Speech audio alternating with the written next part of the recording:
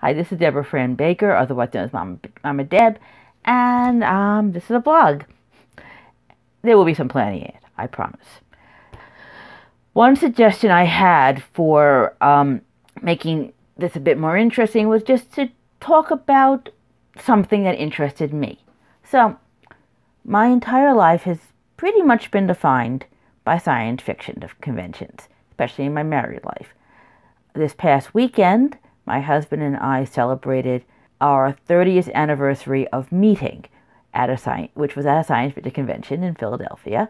It's called PhilCon. Now, different hotel because uh, the fan-run science fiction conventions I attend are in hotels, different hotel and different weekend, but still the same convention.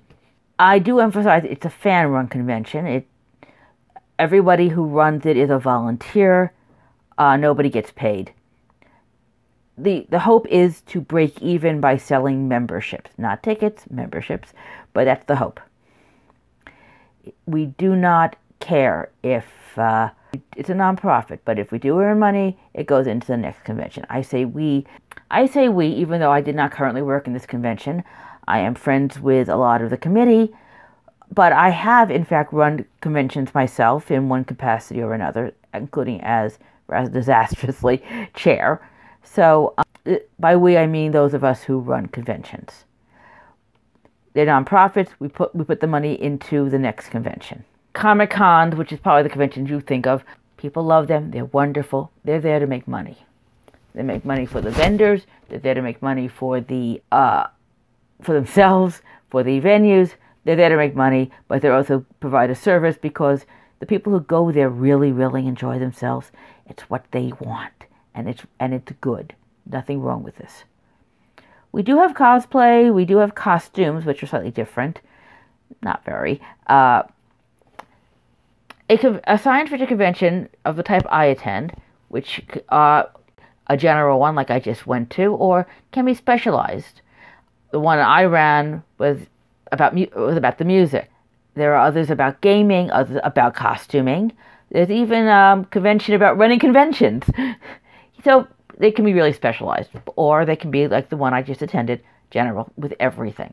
But even they are focused mostly on the books, the books of science fiction and fantasy and horror. We there are panel discussions which are populated very often by the producers of the, of the material we love. The writers, the editors, the publishers, the people who make the games, the people who, if it's about that, write the music, the people who make the art. These are all part of the experience. We have workshops on making costumes. We have a children's programming, which is mostly focused on arts and crafts. We even have religious services we have the things that make science fiction interesting to us. And we do so mostly by talking. We have the formal discussions, as I mentioned, the panels, we have readings by the author by, by the writers, we have coffee klatches where we can discuss things with the writers, and we have the informal discussions which happen everywhere. In the hallways, in empty conference rooms, in uh, the con suite. The con suite is a, is what we call the hospitality suite. It can it can range from snacks and sodas and coffee, you know that sort of thing, which is the sort of thing I tend to run. Only mine's kosher. uh, to full blown meals. I've done that too. Not dinner, perhaps, but breakfast and lunch. And what you do is you sit around and you talk, and you and you or you go to a room party where you sit around and you talk. We had a room party because we were celebrating our anniversary, and I basically had chips and dips and veggies and um, candy and, and soda, and it was fine. Mostly we talked. The other things they do is there's gaming. There's always a there's always a gaming room now, uh, and and often a LARP, a live action role play that may take place over the entire hotel, especially if it's a hotel where we have gotten everything. Um, Filking. Filking is the music of the science fiction community. Song parodies mostly about the things that interest science fiction fans, such as space travel, fairies, cat, monsters, vampires, cats, did I mention cats? I don't even know. I'm not even a cat person, but and I but cats are there. The TV shows, the books, the uh, movies that we all love. They take place, at least the general ones, over weekends. You know, Friday night, Saturday, Sunday morning to afternoon. If it's a four day weekend, maybe in, even to the next day. And they take planning, especially for me, because while most people can easily go to restaurants, especially if they have a car available, or order in or whatever, or go with a bunch of other people for meals, we can't. Very few of these uh, conventions are located in areas that are close kosher restaurants because very few because kosher restaurants don't, don't exist very many places. Before a convention, I sit down and I plan. This is what I used the last time. What I did is I made two separate lists. First, I planned the party because that's not normal for us. I what what snacks we're going to eat, what candy I wanted, what paper goods I needed, etc. And I made a list.